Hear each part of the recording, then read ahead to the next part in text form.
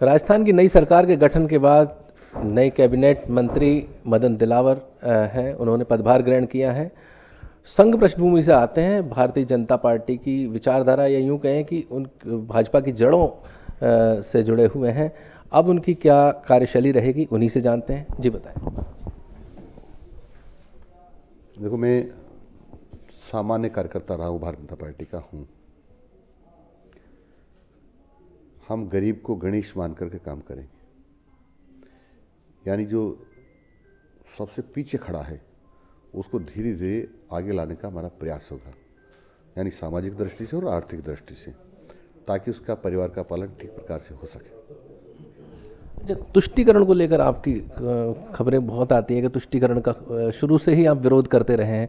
पिछली पाँच साल कांग्रेस सरकार रही है कौन कौन से ऐसे काम हैं जिनको लेकर आपका विरोध रहा है और उनमें बदलाव की आकांक्षा आप आपसे की जा सकती है?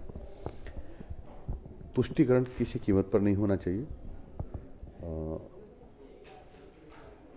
अपने लाभ के लिए तुष्टिकरण करना और एक किसी न किसी ग्रुप को वर्ग को या व्यक्ति को आगे बढ़ाना शेष को पीछे धकेलना मैं समझता हूँ ये ठीक नहीं है क्योंकि इसके कारण से वो वोट पालेंगे सस्ती लोकप्रियता तो पालेंगे लेकिन कुल मिलाकर के नुकसान होना है उसका। महिलाओं और एस सी पर काफ़ी उत्पीड़न हुए हैं। पाँच साल में ये बीजेपी जो अभी विपक्ष में रहते हुए विरोध करती रही थी कांग्रेस का।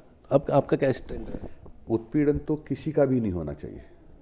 परंतु ये सच है कि सामाजिक दृष्टि से आर्थिक दृष्टि से अनुसूचित जाति के लोग कमज़ोर हैं।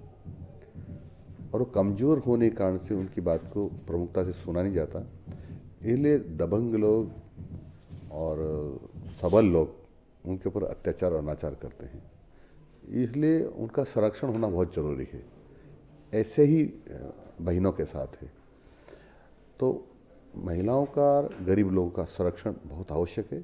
उसको ये माननीय भजन लाल जी की सरकार करेगी, परंतु तुष्टिकरण नहीं करेगी। मैंने सन 1990 में एक संकल्प किया था कि जब तक इस देश में जो एक भूभाग है, जिसको कश्मीर कहते हैं हम लोग, वहाँ धारा 370 लागू है। जब तक वो धारा 370 नहीं हट जाती, तब तक मैं आरामदायक बिस्तर पर नहीं सोऊँगा, यानी दरी या चटाई का उपयोग करूँगा। वो संकल्प मेरा धारा तीन सौ सत्तर समाप्त होती, पूरा हो गया है। दूसरा संकल्प था कि जब तक श्री राम जन्मभूमि पर। भगवान राम का भव्य मंदिर नहीं बन जाता और उसमें भगवान विराजमान नहीं हो जाते। जब तक मैं माला नहीं बनूँगा वो संकल्प मेरा जारी है। 22 जनवरी को मेरा संकल्प पूरा होने वाला है। चलिए, बहुत बहुत बहुत शुभकामनाएँ। तो ये थे मदन दिलावर जी, नए, नवनियुक्त कैबिनेट मंत्री, जो अपने कार्यशैली के लिए विशेष तौर पर जाने जाते हैं। फ़िलहाल अंशुल के साथ विजय वर्मा, जनता दरबार न्यूज़ के लिए।